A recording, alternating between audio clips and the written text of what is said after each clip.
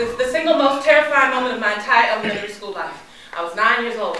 This day, like all others, I was wearing a skirt, and sometimes I had a pair of clean underwear that fit me, but most often I had to wear a pair of mamas, and they were large, and they had overstretched elastic and held up by one safety pin. And during a regular school day, I could sit at my desk until I went to the bathroom to regather the material into the bent safety pin, or I would walk with my knees pressed close enough together so the underwear wouldn't fall down while we lined up for lunch. But on field day, all my strategies were stripped away. Margie, it's your turn to kick.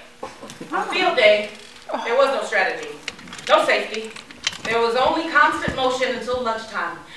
There I was behind the home base and waiting for the pitch, and there had been some close calls throughout the day when I was in three-legged race and tug of war. But somehow, I was able to make sure my dress was down, my underwear stayed up, and, and in kickball, the opportunities to keep my clothing in the right place were impossible without physically holding onto my dress and grabbing the unseen material underneath. Margie, are you ready?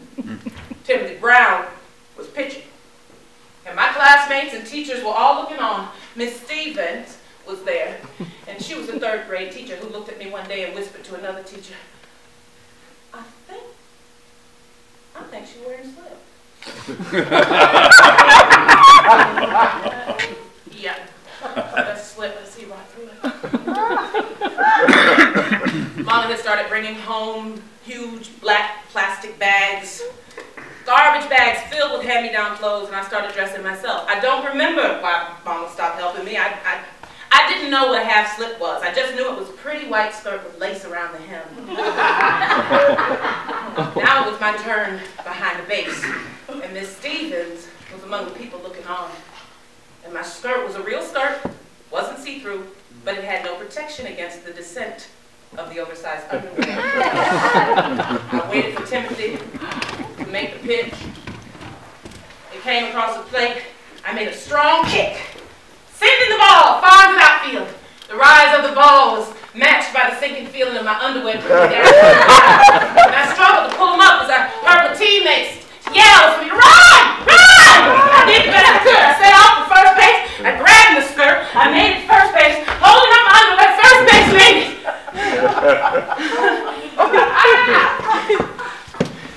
next kicker!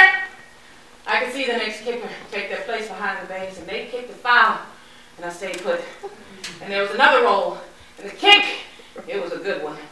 I set out for second base, and then third, and, and the team was screaming for me to go back to second, and I saw the people bringing the ball back to the bases, and so I went back, and just as soon as my leg moved to step back on second base, I felt a thud on the head, and I went down set me down to the ground in my underwear in full view around my ankles.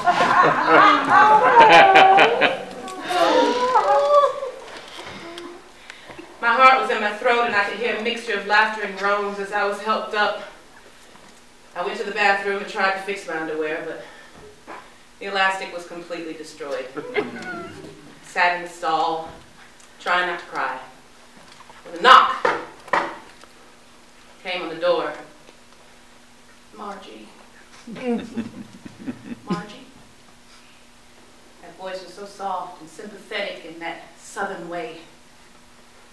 It's Miss Stevens. Are you all right? I brought you something that might help. She held up a single safety pin under the stall door. I could help you if you want. My eyes were burning I was always being made fun of at home for being a crybaby, and I knew it was time for me to grow up. Besides, this was the white woman who had whispered about my previous fashion flub. I didn't want her help. But what choice did I have? Was I going to take off my drawers and walk around naked under my skirt? Or spend the rest of the day playing the knee clinch game? I unlatched the door and stood there with my bravest face. I took the safety pin. I can do it. Miss Stevens, she stood there looking at me. Her eyes were filled with pity as she held me in their gaze from behind those thick bifocals.